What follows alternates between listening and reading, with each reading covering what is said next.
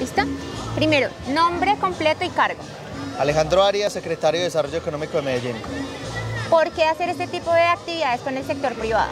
El Valle del Software es una estrategia de desarrollo económico muy ambiciosa que tenemos en la ciudad. Necesitamos validadores no solo internacionales, sino nacionales. Y WOM es un aliado estratégico para la conectividad, para la competitividad y estar hoy con ellos como aliados estratégicos, embelleciendo este lugar, mostrándole a la comunidad todas las posibilidades que tenemos de construir el Medellín Valle del Software. Aquí al lado quedará el próximo Centro del Valle del Software en Robledo La Quintana que entregaremos en tres meses es parte fundamental para seguir construyendo la Medellín Futuro. ¿Cómo se ve beneficiada la comunidad? La comunidad se ve beneficiada primero pues embelleciendo este lugar con WOM, de seguirnos apropiando de este espacio público, de esos escenarios deportivos. Dos, de poder poner una agenda de competitividad, de conectividad en la ciudad. Y tres, de poder apropiarnos de las herramientas de la cuarta revolución industrial.